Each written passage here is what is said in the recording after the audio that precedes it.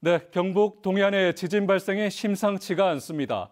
올 들어 가장 강력한 규모 3.4의 지진을 비롯해 이달에만 열흘 동안 지진 3건이 이어졌습니다. 지난해도 규모 2.0 이하의 지진이 200차례 가까이 발생했는데 전국 발생 건수의 절반에 이릅니다. 이 때문에 윤석열 정부 출범에 맞춰 경상북도가 적극적으로 추진하고 있는 친원전 육성 정책을 걱정하는 목소리도 많습니다. 김영일 기자입니다. 지난 3일 경주시 인근에서 규모 2의 지진이 발생한 데 이어 지난 10일 영덕 앞바다에서 올 들어 가장 강력한 규모 3.4의 지진이 발생했습니다. 이틀 뒤에는 울진 앞바다에서 규모 2.4의 지진이 발생하며 열흘 동안 3건의 지진이 경북 동해안에서 잇따랐습니다. 지난해 경북 지역 지진 관측 기록도 심상치 않습니다.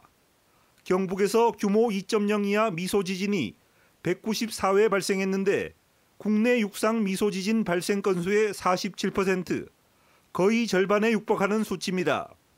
더구나 2016년 경주의 규모 5.8의 역대급 강진과 2017년 규모 5.4의 포항 강진까지 경북 동해안은 지진 다발 지역입니다.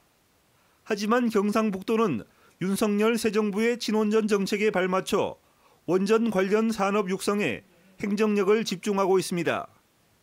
최근 동해안 원자력 클러스터 추진위원회를 열고 원자력을 활용한 수소단지 조성, 소형 모듈 원자로 개발, 신한울 원전 3, 4호기 건설 재개 등 원전 관련 산업을 적극 추진하겠다고 밝혔습니다. 신항을 3, 4호기 운영을 재개해둘라 하는 거하고 새말 특화과 산단을 좀 조성해둘라 그러고 울진에는 수소 실정단지 및 국가 산단을 좀 조성해 둘라 경제도 활성화되고 어, 전력 수급에도 문제가 없지 않겠나 그렇게 생각하고 있습니다. 경북도의 이 같은 친원전 행보에 대해 지진이 많이 발생하는 지역에 원전 관련 시설을 확대 설치할 경우 위험은 더욱 가중될 수밖에 없다며 반대의 목소리가 나오고 있습니다. 울진을 비롯해서 이 동해안에는 지진이 계속적으로 어, 일어나고 있습니다. 그래서 집안이 안전한 상태가 아니기 때문에 위험하고요. 그 세계 최대 핵단지화 시키는 것은 그만큼 위험이 기하급수적으로 늘어난다는 것을 의미합니다.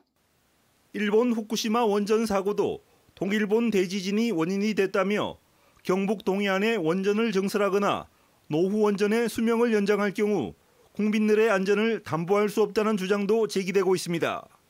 지진이 많이 발생하고 단층대가 많이 얽혀 있는 이 위험 지역에 핵발전소를 계속 가동하고 추가로 증설하는 것은 어, 전국을 위험에 빠뜨리는 굉장히 문제가 있는 정책이라고 생각합니다. 이 때문에 지진 발생 위험이 상대적으로 낮고 실제 전기 수요가 압도적으로 많은 수도권에 원전을 건설해야 한다는 주장도 설득력을 얻고 있습니다.